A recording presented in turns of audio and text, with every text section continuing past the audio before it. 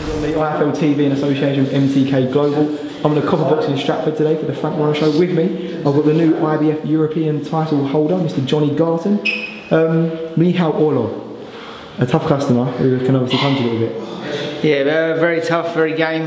I made hard work of it, but I got the job uh, job done in the end. Yeah. I mean, uh, how did you feel you, the cards were going uh, going into that 10th round where you, you stopped him? Uh, if I'm honest, I thought I was behind. From what I heard, I think I was around in front on the cards, but I thought I was around behind, or a couple of rounds behind. I just made hard work of it. I ain't boxed since April, so uh, it's just getting going really. I've been in the gym non-stop for the last five and a half months, and yeah, you know, it's uh, hopefully next uh, next year I'll perform better. Obviously, it's been a long time coming uh, for you to get these title shots on on, on big shows. Um, you took the opportunity tonight. I mean, you, you dug deep when you needed to, as you usually do. Pe- in true Pexican fashion. Um, are you proud of your performance tonight?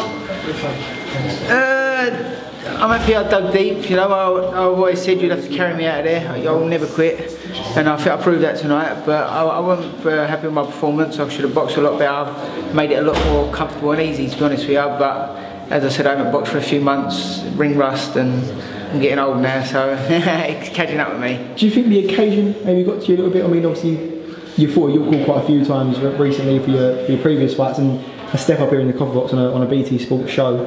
Um, did you feel a little bit more nervous than usual going out tonight? No, no, I felt good to be honest. It's I probably made the weight best I've ever made it. Uh, everything was going well. I just, um, I just think ring rust. Yeah, and uh, I was. I've been trying to be a bit more patient, and I think maybe I was a bit too patient.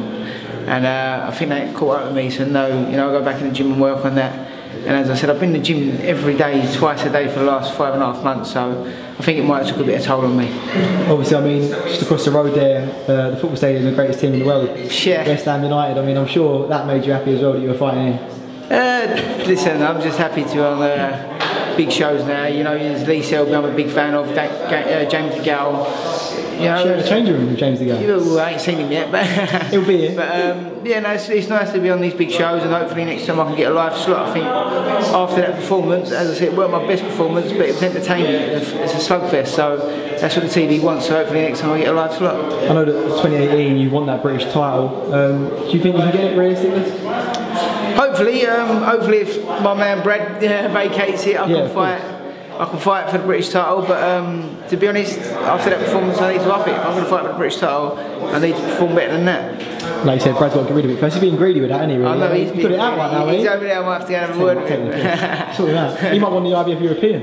yeah, oh, he ain't having it. Right, well, listen, John, um, well done tonight. Thank you, Congratulations mate. on the win. It. You dug deep, you got the win.